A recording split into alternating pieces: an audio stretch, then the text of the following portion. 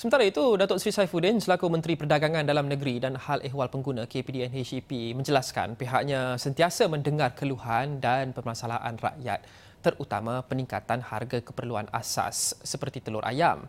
Sehubungan itu katanya kerajaan akan menggerakkan satu jawatan kuasa dalam usaha untuk memecahkan monopoli atau kartel dalam industri pengeluaran makanan bagi mengawal kenaikan harga keperluan asas.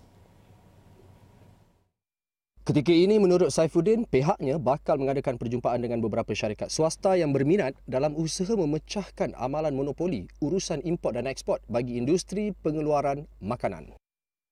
Saya sekarang ini uh, telah pun uh, menggerakkan satu komiti di bawah kementerian ini untuk melihat bagaimana kita boleh atasi amalan trading yang dah berpuluh tahun cara ini. Hanya kalau kita boleh ambil alih.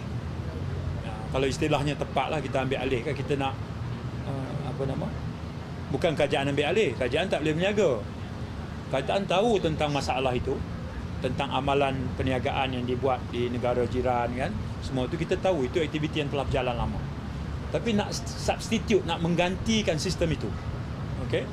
Of course kita kena engage lagi dengan uh, private sectors di negara kita yang berminat untuk menggantikan peranan itu. Katanya lagi pihak swasta yang berminat perlu mempunyai kekuatan dan keupayaan dalam menjalinkan hubungan dengan pengeksport.